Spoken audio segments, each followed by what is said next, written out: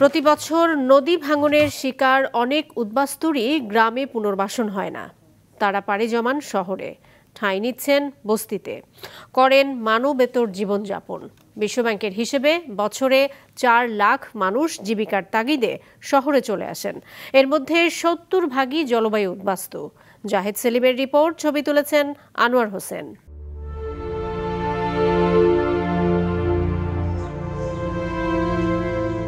ভোলার মর্চিনা বেগম, মেঘনার ভাঙনে হারিয়েছেন সব। একবার দুবার নয়, সাতবার ভাঙনের কবলে পড়ে একেবারে নিঃস্ব সত্তর বছরের এই বৃদ্ধা। সপ্তাহ খানেক হলো ঢাকায় এসেছেন।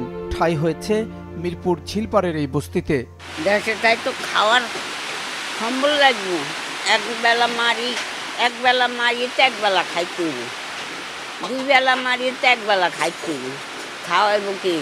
আমরা মানুষ পাঁচজন থাকি। বাসা বাড়ি কাম করে দান ইয়া দিন নিবিড়ি করে খাই। দক্ষিণাঞ্চলের এরকম অসংখ্য মানুষ নদী ভাঙন কিংবা জলবায়ু পরিবর্তনের শিকার হয়ে আশ্রয় নিয়েছেন রাজধানীতে। একসময় সহায় সম্বল আর সাজানো সংসার থাকলেও সব নিমিষেই চলে গেছে নদীগর্ভে। ফলে জীবিকা হারানো মানুষগুলো নতুন আয়ের সন্ধানে পাড়ি জমিয়েছেন এখানে।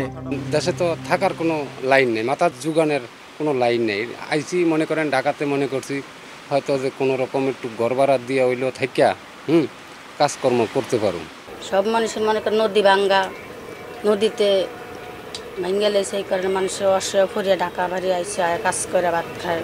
এই জায়গা কষ্ট বৃষ্টি যখন বেশি নামে তখন মনে করেন পানি ঝিল তলায় পানি ওঠে ওটা মনে করেন ঘর বাড়ি সব তলায় যায়। আমাদের এলাকাটা গ্রামটা অর্ধেক পরিমাণ ভেঙে গেছে। হ্যাঁ আমরা আছি ওই যে সরকারি জায়গার ভিতরে আর কি। এ আসলাম ঢাকা শহরে। নদী বার বাঙানি চব্বিশ ডিসিমাল বাড়ি আসছিল মোটেই ভেঙে গেছে। এদিকে উত্তরের জনপদেও একই অবস্থা। তিস্তা ব্রহ্মপুত্র ও যমুনার ভাঙনে প্রতি বছর অন্তত দশ হাজার পরিবার বসত ফিটা হারাচ্ছে। এদের বেশিরভাগই আশপাশের প্রধান শহর কিংবা রাজধানীতে আশ্রয় নিলেও জীবনটা একেবারেই অনিশ্চিত হয়ে থাকছে। বলছেন এই পরিবেশ বিজ্ঞানী। রাজধানী শহরে এমন একটি সময়ে তারা আসছে যখন এই শহর অলরেডি ওভার পপুলেটেড তার ক্যাপাসিটির তিন থেকে ছয় গুণ মানুষ নিয়ে। এবং এই শহরের যেই ইউটিলিটি ফ্যাসিলিটিসগুলো তাদের দরকার ছিল পানির বিদ্যুতের গ্যাসের কিংবা যানবাহনের সেটি দেওয়ার মতো বহন করার মতো ক্যাপাসিটি এই শহরের আর নতুন করে বৃদ্ধি পাচ্ছে না।